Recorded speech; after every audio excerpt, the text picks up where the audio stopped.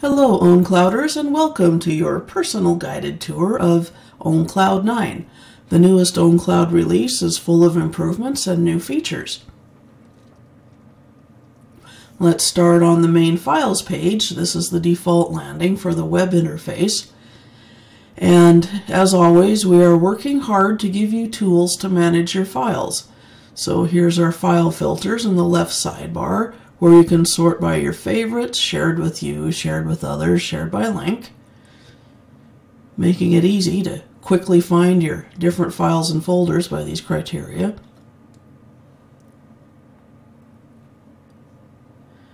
And there's a new filter, the tags filter.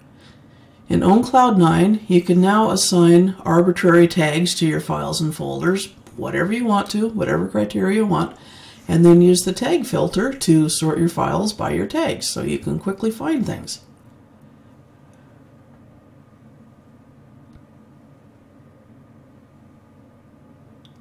The tags themselves are created elsewhere, which we will get to in a few minutes.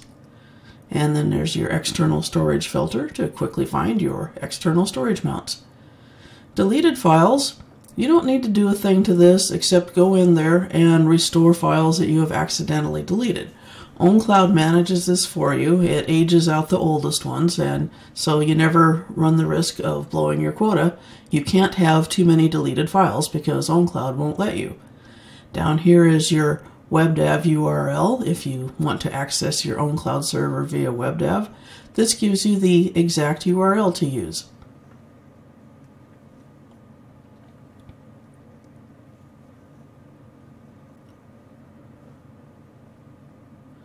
Back on the main files page, you can sort your files by three different ways. Alphabetically by the name, frontwards or backwards. Same thing for size, from small to large or large to small. And by the modified time, files most recently modified or oldest files.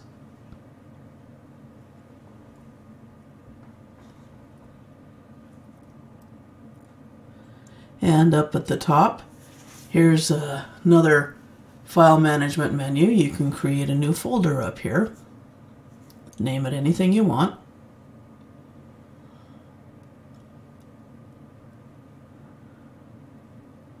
Now let's go into this folder. It's empty. So right here inside OwnCloud, we can create a new text file and even put some content into it.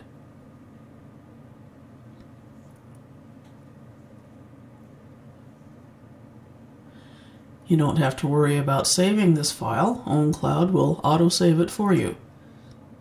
And of course, you'll probably want to upload files. You can upload multiples by using Control click or Shift click. And there they are. The little home button, that takes you back to the main files page. Up in the search bar, you can quickly find files by their names or their file extensions. You can have your own personal avatar.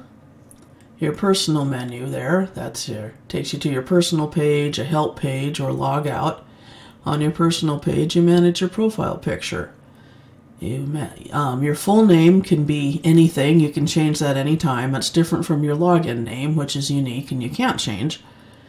Um, you can manage your email here, see what groups you're in, manage your password. There's the settings for your activity stream. External storage here, you can create your own personal mounts. Your federated cloud ID, so you can tell your friends on other OwnCloud servers how to create federated shares with you. You can import SSL root certificates, and this is especially useful for example, in a private business or on a personal server where you have self-signed certificates. Well, web browsers these days, they complain about self-signed certificates and they're scary and they try to make you think they're not safe. So you can stop their complaining by importing the certificate. And up here we can go to our activity menu. The activity page is a, really it's just a log of all your activities. So if you forget something, go in here and you can probably help remember what you did.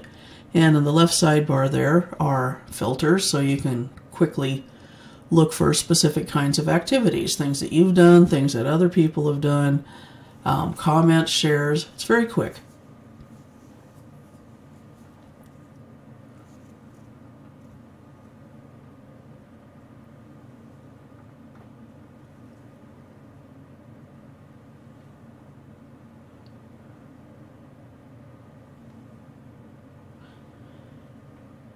And on the top right, that's the button to open your image gallery. The image gallery's been completely rewritten and it's really nice now. So on your main files page, when you open the gallery, it automatically displays all the images in your account. And you can share them from here. Um, it shows you which folders all the different images are in. If you're in a subfolder, then the gallery button will only open the images for that folder. Of course, you can see the images full size. You can navigate through them. Down at the bottom right, there's a slideshow button. So you just click that and sit back and watch the show.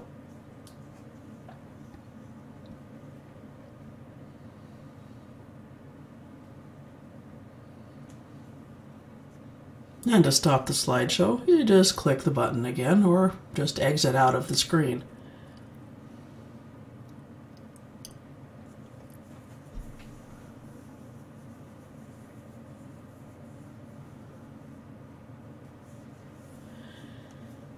OwnCloud 9 also includes a video player, so you can watch your movies in OwnCloud. You get full sound and video.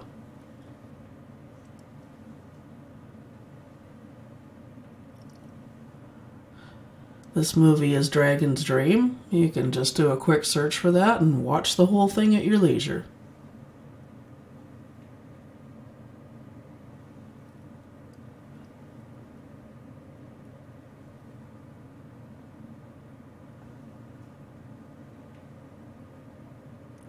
OwnCloud 9 also includes a PDF viewer, and it's pretty nice.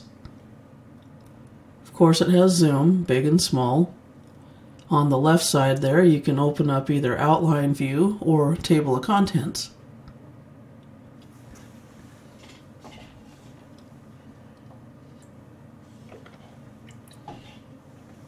It has the usual navigation buttons, and you can type in the page number of any specific page that you want to jump to.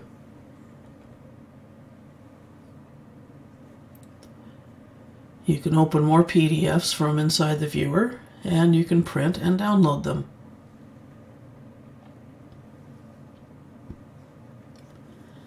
Now the little three dot menu, that's called the overflow menu, that contains many your, your main file management tools. This opens the um, sidebar on the right. And this is where you manage your tags. Now these tags are system tags. Every tag that every user on your, on your server creates is visible to everyone on the server. And you create multiple tags by pressing enter between each one or the return key. these tags are completely arbitrary. They can be phrases, they can be sentences, they can be words, they can be numbers, they can be anything you want. Another new feature in OwnCloud 9 is comments. This is very useful when you're collaborating, obviously, or maybe just to blow off steam when you're working with your coworkers on a difficult task. But this is a wonderful collaboration tool because it puts everything right there in your interface where you can see it. You don't have to go hunting them down. On your main files page, there's a little notifier that tells you which files and folders have comments on them and if you hover over the notifier, it will tell you if there are any new comments. Thank you for watching. We hope you enjoy using OwnCloud 9. Thank you for being an OwnCloud user. And you'll find more information and user, developer, and administration manuals at owncloud.org.